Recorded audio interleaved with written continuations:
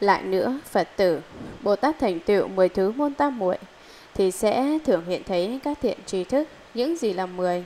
Đó là tam muội pháp không thanh tịnh luân, tam muội quan sát biển mười phương, tam muội nơi tất cả cảnh giới không xả lìa, không khuyết giảm, tam muội thấy khắp tất cả chư Phật xuất hiện ra đời, tam muội tích tập tất cả công đức tạng, tam muội tâm luôn không bỏ thiện tri thức, tam muội thường thấy tất cả thiện tri thức sinh công đức chư Phật, tam muội thường chẳng lìa tất cả thiện tri thức, tam muội thường cúng dường tất cả thiện trí thức, tam muội thường ở chỗ tất cả thiện trí thức, không có lỗi lầm.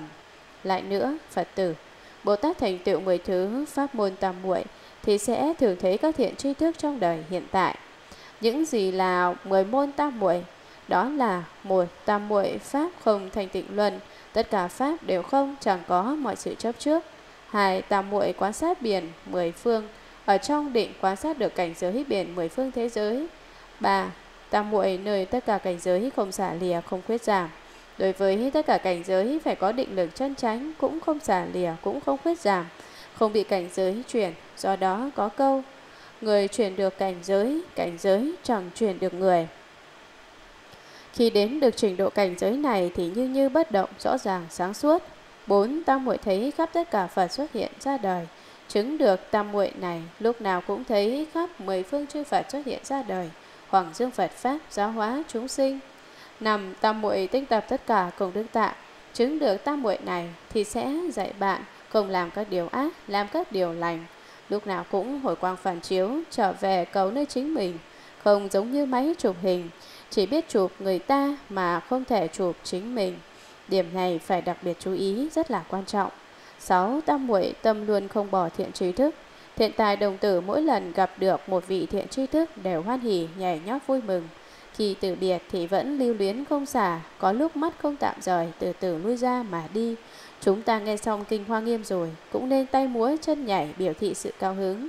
Cho nên người tu đạo đừng xả lìa thiện trí thức, vì thiện tri thức hay chỉ bày con đường tránh pháp khiến cho chúng ta tinh tấn tiến về trước, thẳng đến niết bàn ở bên kia, mà chẳng đi lầm đường lạc lối, chẳng lãng phí thời gian, không có sự tu mù luyện đuôi, đi lầm vào đường tà.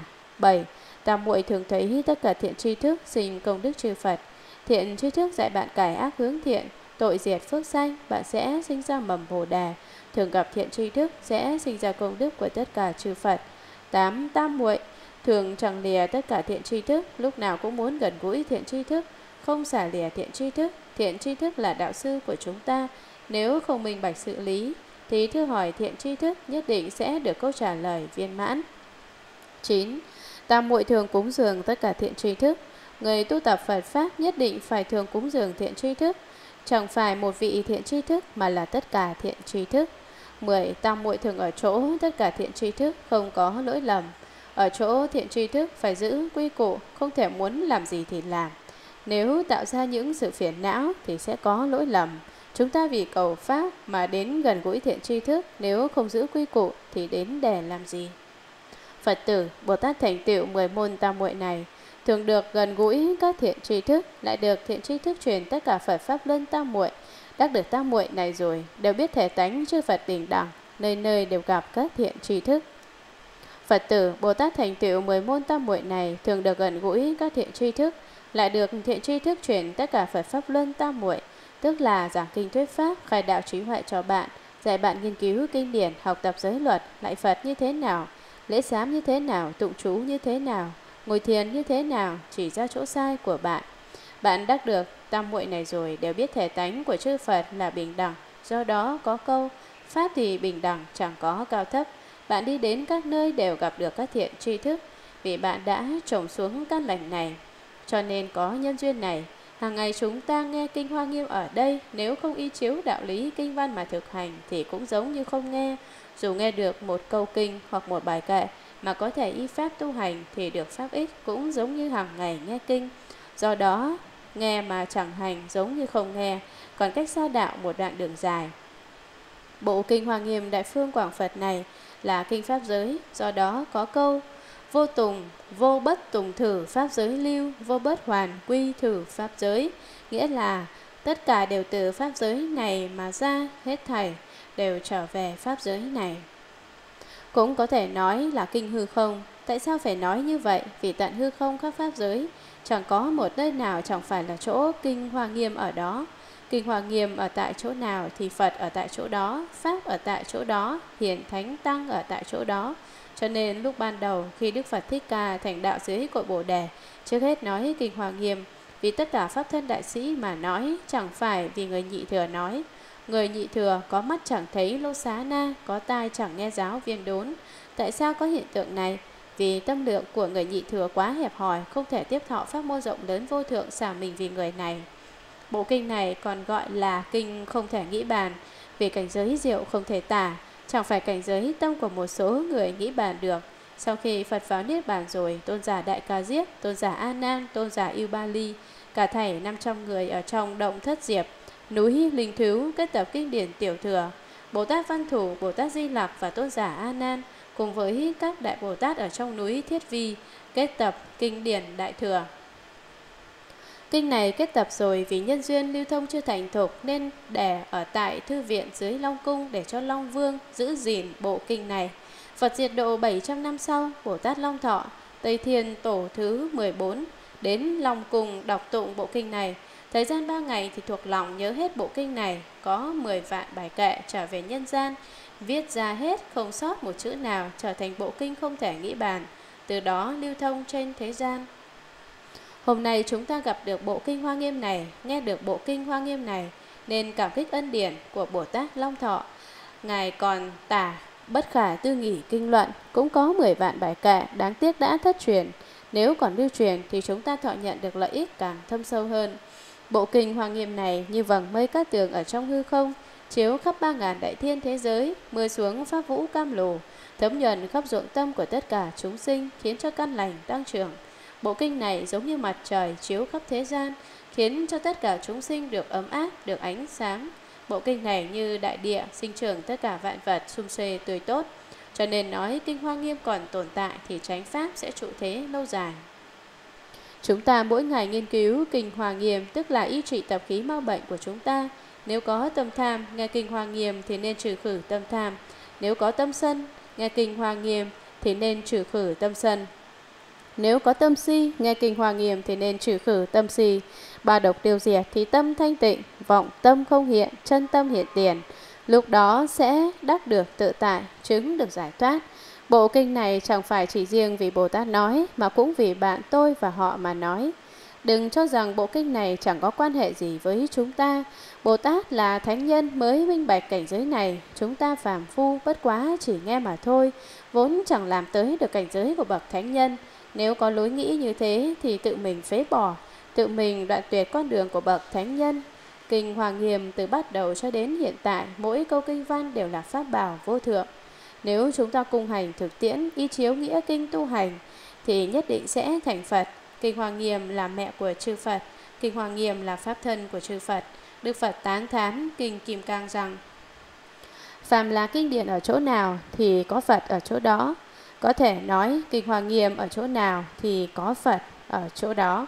Vì chúng ta nghiệp chướng quá nặng nên chẳng thấy Phật mà nên thấy Phật mà chẳng nhận ra. Do đó có câu trước mắt chẳng biết Bồ Tát Quán Thế Âm, các vị hãy nhìn xem ngàn tay ngàn mắt của Bồ Tát Quán Thế Âm, thường phóng đại quang minh vô ngại chiếu khắp chúng sinh hữu duyên trong ba ngàn đại thiên thế giới. Chúng ta hàng ngày ở đây lại Bồ Tát Quán Âm, niệm Bồ Tát Quán Âm trong vạn Phật bảo điện của vạn Phật Thánh Thành, mà chẳng thấy Bồ Tát Quán Âm. Tại sao vậy? Vì tâm chẳng kiên thành, ý chẳng kiên cố, chỉ là làm cho có lệ. Người ta lại mình cũng lại, người ta niệm mình cũng niệm, làm việc phô trương mà chẳng thành tâm, chuyển theo cảnh giới của người khác mà trong thân tâm mình chẳng tu hành một cách đàng hoàng. Chúng ta lại Bồ Tát Quán Thế Âm, niệm Bồ Tát Quán Thế Âm, phải tự mình phản tỉnh mình. Phải chăng mình còn tính nóng giận rất lớn chăng? Phải chăng tật xấu của mình xưa kia chưa sửa được chăng? Nếu có tình hình như vậy, thì dù bạn lại đến hiếp hết kiếp thủa vị lai, niệm đến hết kiếp thủa vị lai cũng chẳng bao giờ thấy được Bồ Tát Quán Thế Âm. Nếu triệt để cải ác hướng thiện, chân tránh trừ khử tập khí mau bệnh của mình, sửa lỗi làm mới, tẩy sạch vọng tưởng, được như vậy, thì Bồ Tát Quán Thế Âm mới từ quang phổ chiếu, chắc chắn sẽ gia trì cho bạn, khiến cho bạn được mát mẻ, chẳng còn nóng bức. Phải biết rằng trên thế gian này chẳng có việc gì không mệt nhọc mà được kết quả. do đó có câu trồng trọt một phần thì thu hoạch một phần. Thiên hạ không ai làm bánh sẵn để cho bạn ngồi đó hưởng, không lại Phật mà muốn gặp Phật, đó chỉ là vọng tưởng của người ngu si. Tại sao có người tu hành nhiều năm mà chẳng khai mở trí huệ? Tại sao có người tu hành chẳng bao lâu trong sự bất tri bất giác thì khai mở trí huệ đắc được biện tài vô ngại? Sự khác biệt ở đây là do sự tinh tấn tu hành dụng công, dũng mãnh tinh tấn sẽ đắc được trí huệ, giải đãi phóng giận sẽ đắc được sự ngu si.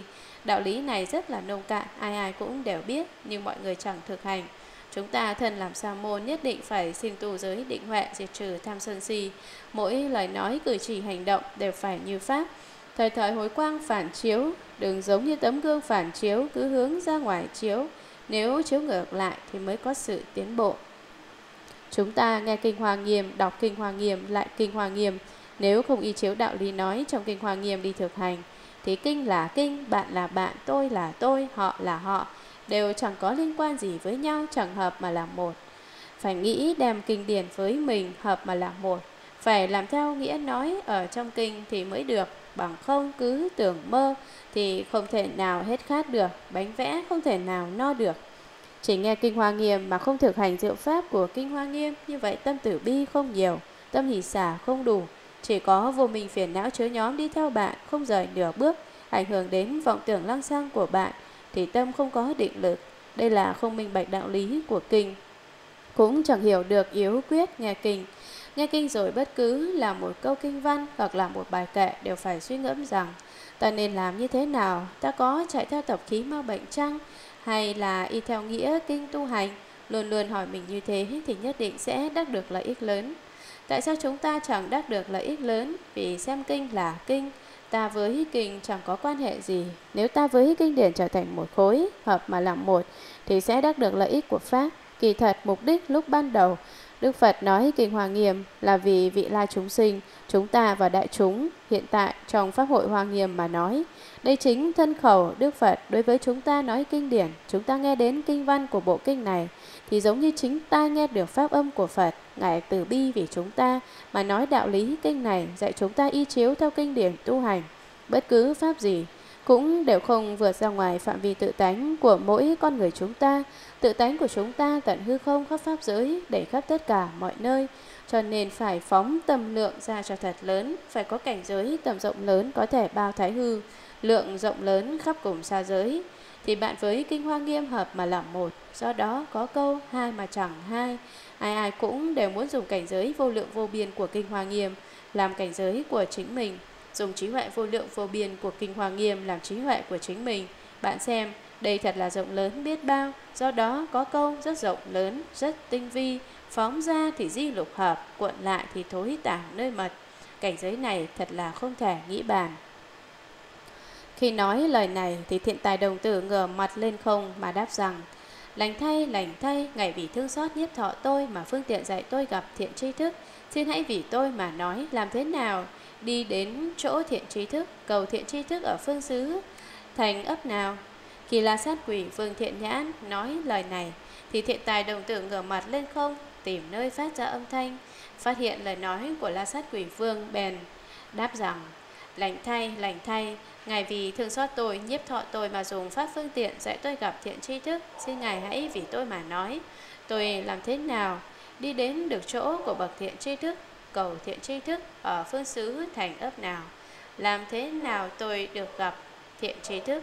Xin Ngài hãy chỉ bày rõ con đường để cho tôi được gặp thiện tri thức, thấu rõ tâm nguyện của tôi. Là sát đáp rằng, thiện nam tử, người nên lễ khắp mười phương để cầu thiện tri thức, Tránh niệm suy ngẫm tất cả cảnh giới để cầu thiện tri thức, dũng mãnh tự tại du khắp mười phương để cầu thiện tri thức, quán thân, quán tâm như mộng như bóng để cầu thiện tri thức.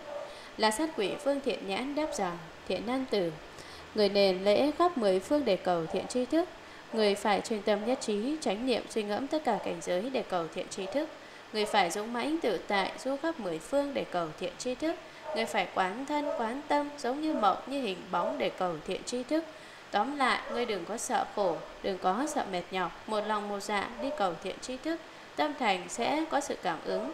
Do đó có câu cảm ứng đạo giao thì tự nhiên sẽ gặp được thiện tri thức. Chúng ta nghe kinh nghe pháp nhất định phải thực hành. Đừng có nghe xong thì thôi Hoặc nói vài câu khẩu đầu thiền Tự cảm thấy đã đủ. Như vậy thì chẳng có lợi ích gì. Do đó có câu Nói hay nói giỏi mà chẳng thực hành Thì chẳng phải đạo.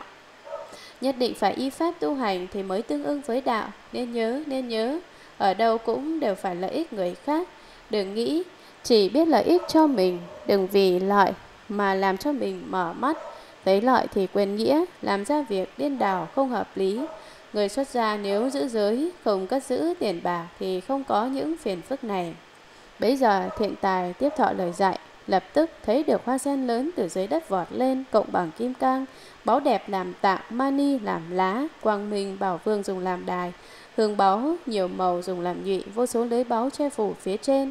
Trên đài có một lầu quán Tên là phổ nạp thập phương pháp giới tạng Nghiêm sức kỳ diệu kim cang làm đất. Có ngàn cột thẳng hàng Tất cả đều làm bằng mani báu Vách bằng vàng diêm phù đàn Các chuối báu. Thòng rủ tứ phía thẩm bực lan can trang nghiêm khắp chung quanh. Lúc đó thiện tài đồng tử tiếp thọ lời dạy của La Sát Quỷ Vương Thiện Nhãn, thực hành giáo pháp của Ngài, lập tức thấy được hoa sen lớn từ dưới đất vọt lên. Hoa sen đó rất thanh tịnh, trang nghiêm vạn phần, cộng bằng kim cang, báu đẹp làm tạ, mani làm lá, còn mình bảo vương dùng làm đài, hương báu nhiều màu dùng làm nhụy, vô số vô lượng lưới báu che phủ phía trên hoa sen báu lớn đó. Trên đài hoa có một lầu quán tên là Phổ Nạp Thập Phương Pháp Giới Tạng, dùng báu đẹp kỳ lạ để trang nghiêm tô sức, kim cang làm đất. Có ngàn cột thẳng hàng, tất cả đều làm bằng mani báu, vách bằng vàng diêm phù đàn. Các chuỗi báu thành rủ tứ phía, thầm bực lan can, trang nghiêm khắp xung quanh. Trong lầu quán đó có tòa hoa sen báu như ý, có đủ thứ các báu dùng làm nghiêm sức, lan can báu đẹp, y báu, xèn lẫn, trứng báu, lưới báu dùng phủ phía trên, các phàn lụa báu rằng khắp xung quanh, gió nhẹ thổi động, tỏa ánh sáng, vang ra âm thanh, trong tràng hoa báu mưa xuống các hoa đẹp, trong lục lạc báu vang ra âm thanh hay. Giữa những cửa báu thòng xuống các chuỗi ngọc, trong thần mà nì chảy ra nước thơm, trong miệng vòi báu xuất hiện lưới hoa sen, trong miệng sư tử thổi mây rượu hương, bánh xe báu hình phạ vang ra tùy âm nhạc, linh kim càng báu vang ra tiếng đại nguyện của các Bồ Tát. Trong nguyệt tràng báu xuất hiện hình hóa Phật, tịnh tạng bảo vương hiện ra ba đời chư Phật, thọ sanh thứ tự. Nhật tạng Mani phóng đại quang minh chiếu khắp mười phương tất cả cõi Phật. Mani Bảo Vương phóng ra quang minh viên mãn của tất cả chư Phật. Tỳ lô giá na Mani Bảo Vương nổi mây cúng dường để cúng dường tất cả chư Phật như lai. Châu Vương như ý niệm niệm thì hiện thần biến phổ hiền đầy khắp pháp giới. Tu di Bảo Vương hiện ra cung điện trời. Có các thể nữ trên trời đủ thứ diệu âm ca sướng khen ngợi công đức như lai vi diệu không thể nghĩ bàn.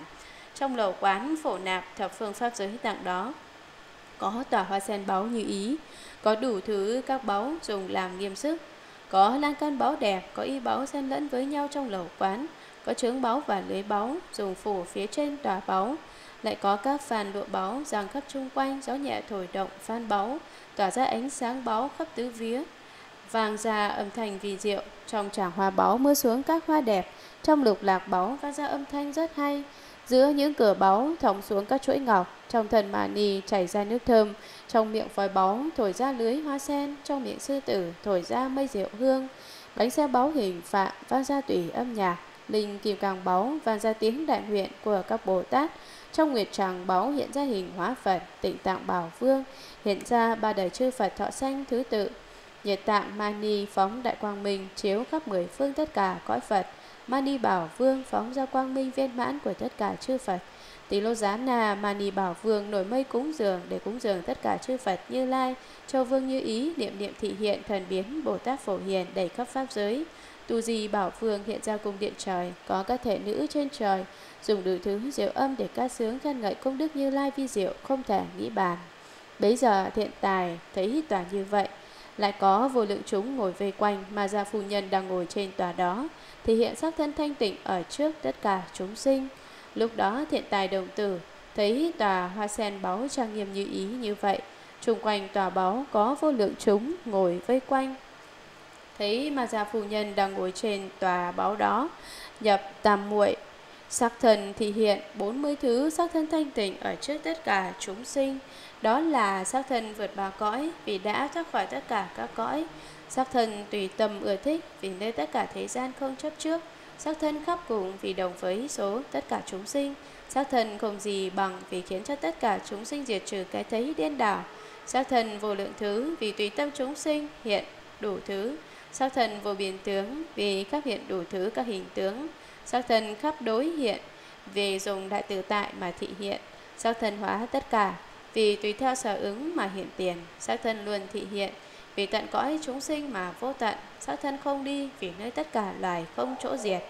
Đó là một hiện sắc thân vượt qua ba cõi mà già phu nhân tùy thân ở trong ba cõi nhưng đã vượt khỏi tam giới 25 cõi không thọ sinh tử trong tam giới. Do đó có câu thân tại trần, tâm xuất trần, trong giếng trồng hoa chẳng nhiễm trần. Hai hiện sắc thân tùy tâm ưa thích vì nơi tất cả thế gian không chấp trước. Ba hiện sắc thân khắp cùng vì sắc thân đồng với số tất cả chúng sinh. Bốn hiện sắc thân không gì bằng vì khiến cho tất cả chúng sinh diệt trừ cái thấy điên đảo hiện ra trí huệ chân chánh. năm Hiện sắc thân vô lượng thứ vì tùy đủ thứ tâm của chúng sinh mà thị hiện đủ thứ sắc thân. 6. Hiện sắc thân vô biên tướng, vì khắp hiện đủ thứ tất cả hình tướng. 7. Hiện sắc thân khắp đối diện, vì dùng đại tự tại mà thị hiện sắc thân. 8. Hiện sắc thân hóa tất cả, vì tùy theo chúng sinh đáng được giáo hóa mà hiện ra ở trước họ. 9. Thường thường thị hiện sắc thân, dù cõi chúng sinh cùng tận, nhưng sắc thân này vẫn không cùng tận. 10. Hiện sắc thân không đi, vì trong tất cả loài không có diệt mà già phu nhân nhập vào cảnh giới tam muội sắc thân có thể hiện đủ thứ tam muội tức có tức không tức không tức có, không có chẳng hai. Để khỏi tất cả lời nói, để khỏi tất cả nghĩ bàn, cho nên không thể dùng tâm nghĩ, không thể dùng lời bàn luận. Sắc thân không đến, vì nơi các thế gian không chỗ sinh. Sắc thân không sinh, vì không sinh khởi. Sắc thân không diệt, vì lời, vì lìa lời nói. Sắc thân chẳng thật, vì được như thật. Sắc thân chẳng hư, vì tùy thế gian hiện. Sắc thân không động, vì sinh diệt vĩnh viễn, lìa khỏi. Sắc thân bất hoại vì pháp tánh bất hoại sắc thân vô tướng vì lời nói đã dứt sắc thân một tướng vì không tướng làm tướng sắc thân như tượng vì tùy tâm ứng hiện 11. Hiện sắc thân không đến vì nơi các thế gian không chỗ sinh 12. Hiện sắc thân không sinh vì không sinh khởi cho nên không có bắt đầu cũng không có kết thúc 13. Hiện sắc thân không diệt vì không sinh nên không diệt để khỏi tất cả lời nói thế gian do đó có câu miệng muốn nói mà lời đã tan mất tâm muốn duyên mà suy nghĩ không còn nữa. 14 hiện sắc thân chẳng thật nói nó thật có chăng lại chẳng phải thật có giống tựa như thật có. 15 hiện sắc thân chẳng hư nói nó là hư giả chăng cũng chẳng phải hư giả vì nó tùy thế gian mà hiện. 16 hiện sắc thân không động nó là không sinh không diệt, vĩnh viễn lìa sinh tử, cho nên như như bất động, rõ ràng, sáng suốt. 17. Hiện sắc thân bất hoại, tất nhiên bất động, thì cũng bất hoại, pháp tánh vốn có cũng là bất hoại.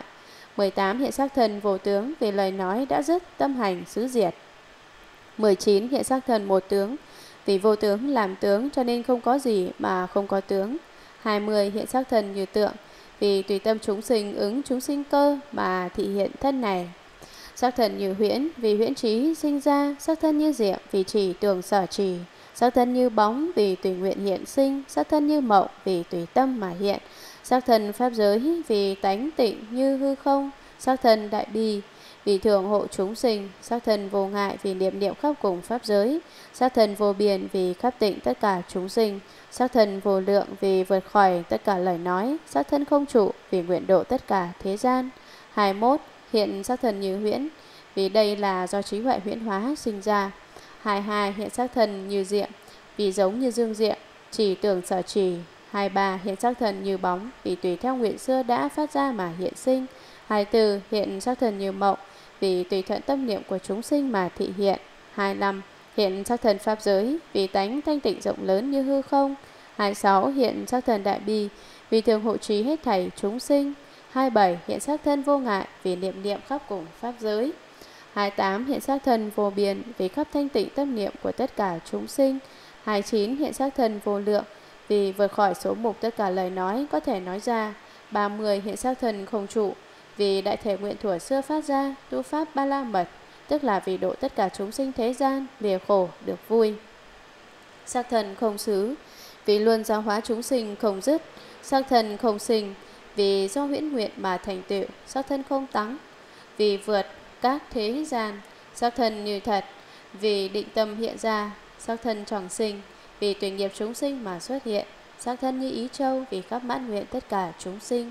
Sắc thân không phân biệt vì chỉ tùy chúng sinh phân biệt mà sinh khởi. Sắc thân lìa phân biệt, vì tất cả chúng sinh không biết được. Sắc thân vô tận, vì tận bờ mé sinh tử của các chúng sinh. Sắc thân thanh tịnh, vì đồng với Như Lai không phân biệt. 31. Hiện sắc thân không xứ, vì sắc thân hiện ra chẳng có xứ sở nhất định, vì thường giáo hóa chúng sinh không dứt. 32. Hiện sắc thân không sinh, vì do nguyện lực viễn hóa mà thành tựu. 33. Hiện sắc thân không thắng, vì thân này vượt khỏi tất cả thân chúng sinh thế gian. 34. Hiện sắc thân như thật, vì do tu định tâm hiện thân. 35. Hiện sắc thân chẳng sinh, vì tùy theo nghiệp lực của chúng sinh mà hiện thân. 36. Hiện sắc thân như ý châu, vì khắp mãn nguyện sở cầu của tất cả chúng sinh. 37. Hiện sắc thân không phân biệt, vì chỉ tùy tâm phân biệt của chúng sinh mà sinh khởi thân. 38. Hiện sắc thân lìa phân biệt, vì lìa khỏi tất cả lời nói và tất cả tư tưởng, tất cả chúng sinh không biết được sự hiện thân như thế nào. 39. Hiện sắc thân vô tận, vì tận bờ mé sinh tử của các chúng sinh. 40. Hiện sắc thân thành tịnh, vì chẳng những thân thanh tịnh mà tâm cũng thanh tịnh, chẳng có chút ý niệm nhiễm ô nào đồng với Phật không có gì phân biệt. Mà già phù nhân hiện ra nhiều sắc thân như vậy. Tại sao? Vì dạy chúng ta đừng chấp trước nhục thân này. Nếu chứng được thánh quả thì có vô lượng vô biên thân. Nhục thân này giống như ngục tù, nhất chúng ta ở trong lồng, không được tự tại, không được giải thoát. Muốn ta khỏi cái lồng này thì phải biết kế xuất lồng, bằng không vĩnh viễn bị nhốt ở trong lồng. Lão Tử đã từng nói, Sở dĩ ta có đại họa vì ta có thân. Chữ hoạn ở đây có thể nói là chữ bệnh. Ta có đại bệnh vì có thân này. Nếu không có thân này thì cũng chẳng có đại bệnh. Lại nói, nếu ta không có thân thì sao ta lại có bệnh? Lão tử biết thân thể là vật không tốt, có nó rồi thì khổ não không thể chịu nổi, chẳng có nó thì không có khổ não. Một số người xem thân thể như là bảo bối, thường tiếc bảo hộ, lại sợ nó đói, lại sợ nó khát, lại sợ nó nóng, lại sợ nó lạnh. Lúc nào cũng lo cho nó, lúc nào cũng phục vụ cho nó, lúc nào cũng làm nô lệ cho nó. Vì có thân này mà nhìn chẳng thấu, buông chẳng đặng, đem hết tầm cờ, nghĩ hết biện pháp duy trì nó, bảo hộ nó an toàn. Nhưng đến lúc đó chẳng màng đến bạn, nó bỏ đi, chẳng có chút cảm tình nào với bạn cả. Xem bạn làm thế nào.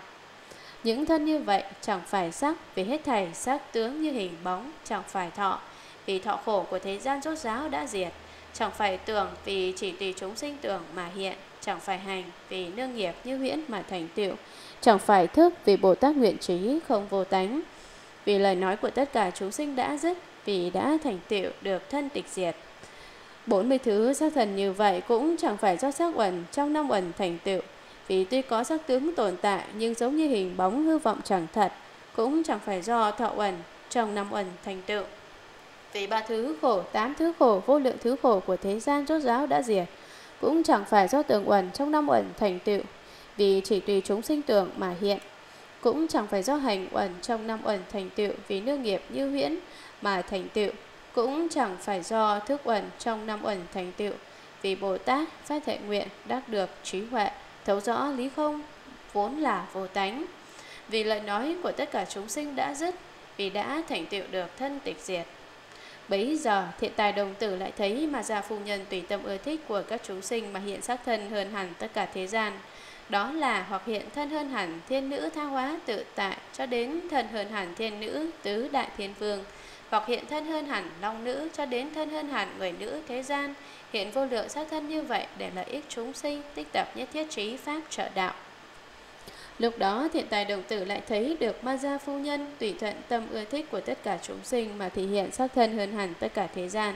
Đó là hoặc hiện thân hơn hẳn thiên nữ cõi trời tha hóa tự tại, cho đến thân hơn hẳn thiên nữ cõi trời tứ đại thiên vương hoặc hiện thân hơn hẳn lòng nữ, cho đến thân hơn hẳn người nữ thế gian.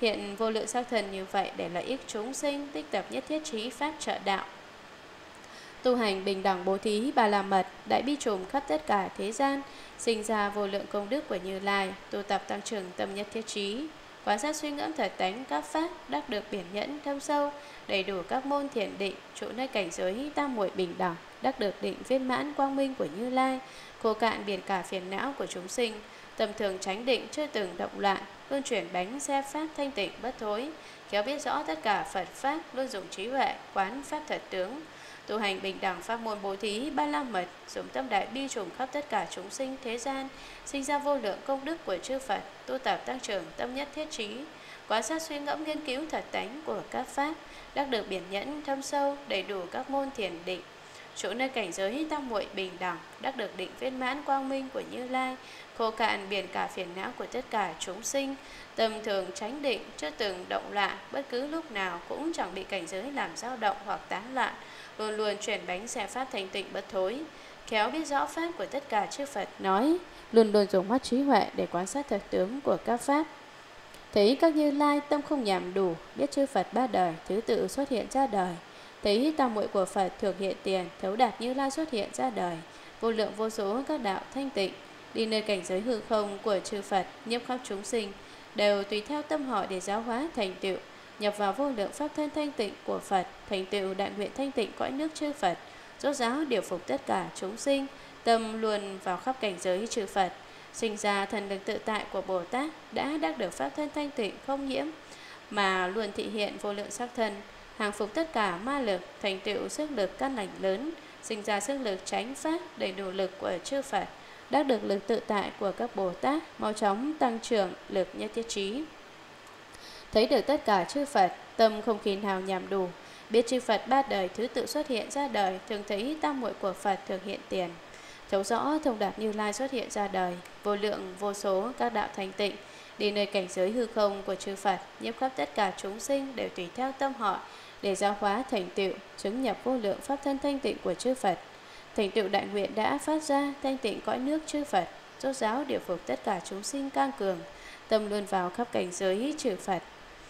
Sinh ra thần lực tự tại của Bồ Tát đã đắc được pháp thân thanh tịnh, không nhiễm, mà luôn luôn thị hiện vô lượng sắc thân, hàng phục được tất cả ma lực, thành tựu được sức lực cân lành lớn, sinh ra sức lực tránh pháp đầy đủ lực của chư Phật, đắc được lực nhập vật tự tại của các Bồ Tát, mau chóng tăng trưởng lực nhất thiết trí, đắc được trí huệ quang minh của Phật chiếu khắp tất cả, đều biết biển tâm của vô lượng chúng sinh, căn tánh ham muốn hiểu biết đủ thứ sự khác nhau, thần đó các cùng mười phương biển cõi, đều biết tướng thành hoại các cõi, dùng mắt rộng lớn thấy biển mười phương, dùng trí huệ khắp cùng biết biển ba đời, thân phụng sự khắp tất cả biển chư Phật, tâm luồn nạp thọ tất cả biển cá pháp, tụ tập tất cả công đức của Như Lai, sinh ra tất cả trí huệ của Bồ Tát, thường thích quan sát tất cả Bồ Tát từ lúc ban đầu phát tâm cho đến thành tựu đạo tu hành, thường xuyên giữ gìn tất cả chúng sinh, thường thích khen ngợi công đức của chư Phật, nguyện làm mẹ của tất cả Bồ Tát. Đắc được trí huệ quang minh của Phật chiếu khắp tất cả thế giới, đều biết biển tâm của vô lượng chúng sinh, Can tánh ham muốn hiểu biết có đủ thứ cảnh giới khác nhau, thần đó các cùng mười phương biển cõi, đều biết tướng thành trụ hoại không của các cõi, dùng mắt pháp rộng lớn thấy được biển mười phương thế giới, dùng trí huệ khắp cùng biết được biển pháp ba đời, thần phụng sự khắp tất cả biển chư Phật, nhiều như biển cả, tâm tức là biển pháp, luôn nạp thọ tất cả biển các pháp. Nếu tâm chẳng phải là biển pháp thì làm sao mà nạp thọ được tất cả biển pháp, tu tập tất cả công đức của chư Phật đã tu. Nếu chẳng tu công đức của chư Phật thì làm sao mà thành Phật, sinh ra trí huệ đầy đủ của tất cả Bồ Tát. Đầy đủ trí huệ của Bồ Tát cũng chẳng thái quá, cũng chẳng bất cập. Đúng là lý thể, trần tránh. Bất cứ làm việc gì đều phải tuân theo quy cụ, thứ tự như Pháp, đây tức là trí huệ của Bồ Tát. Thường thích quan sát, quan sát gì? Phải hướng bên ngoài quan sát cảnh giới của tất cả Bồ Tát, phải hướng vào bên trong quan sát chính mình đã phát Bồ Đề Tâm chưa? Bồ Tát từ lúc ban đầu phát tâm cho đến thành tựu đạo tu hành đều lợi ích người khác, chẳng phải lợi ích chính mình. Tư tưởng của Bồ Tát là bố thí không cầu đền đáp, chẳng tìm lỗi lầm của người khác, cho nên phải quan sát đạo của tất cả Bồ Tát tu hành, thường xuyên giữ gìn tất cả chúng sinh, thường thích khen ngợi công đức của chư Phật, nguyện làm mẹ của tất cả hậu thân Bồ Tát, thân cuối cùng sắp thành Phật.